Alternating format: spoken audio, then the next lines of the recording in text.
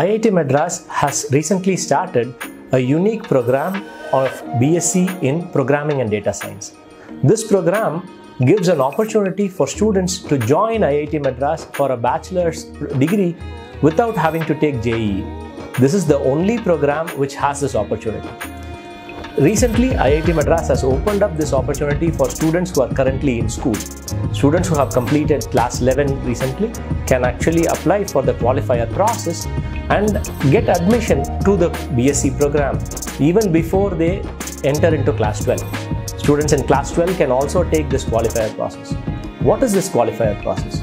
So this is very unique. It is not an entrance exam. It is actually a qualifier exam. So the students get four weeks of training from IIT Madras on four different subjects and based on that training they will be tested on their understanding of the content that has been taught to them. So by undergoing this training you become qualified to appear for this qualifier exam and by clearing this qualifier exam and scoring a minimum cutoff you can get admission to the IIT Madras BSc in Programming and Data Science. The unique aspect about this is this qualifier exam is not like any other entrance exam. It actually admits anyone who qualifies, which means there is no rank. Everyone who scores above a cutoff will actually be admitted into this program.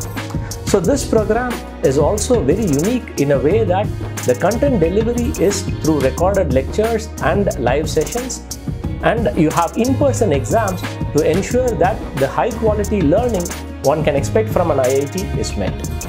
So this opportunity is open for students from all backgrounds. So it is not just restricted to students who come from science or engineering backgrounds. So if you're doing commerce or humanities or sciences, anything in your school, you can actually apply for this BSc program and get an admission to IIT Madras. So getting an admission, securing an admission at IIT Madras even before you enter into class 12 sounds like an exciting opportunity. We really hope that the students will make use of this and join this program.